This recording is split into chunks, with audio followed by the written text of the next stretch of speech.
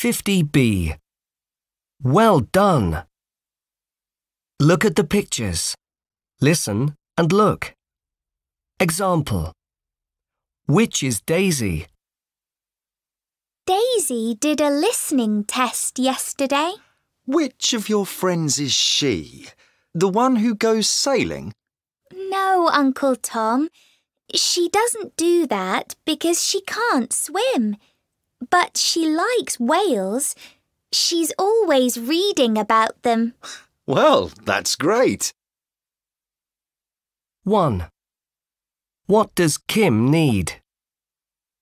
Have you got everything you need for your English test today, Kim?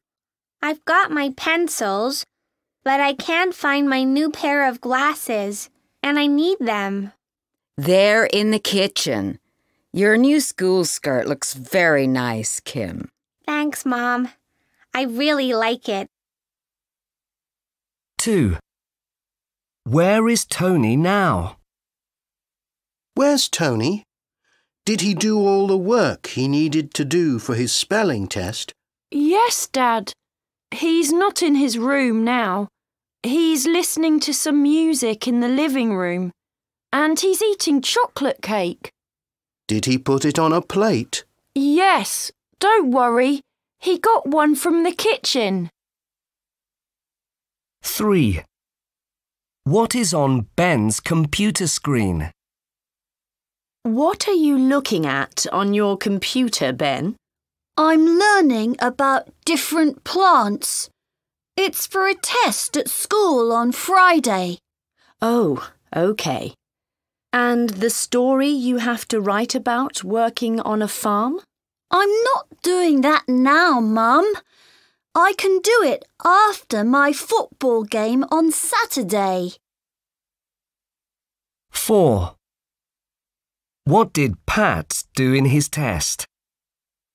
My friend Pat had a music test in his lunch break today.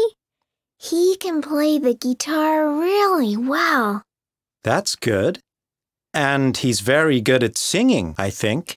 Yes, but he had to play the piano in his test today. Oh, so he can do that too. Great. 5. What does Jim want to do now? Hi, Grandpa. My test wasn't difficult. It was easy. I got 8 out of 10. Well done, Jim. Are you thirsty? Would you like some milk? Not now, thanks. I'd like to sit and watch a film, I think. I don't want to do any more writing. OK, good idea.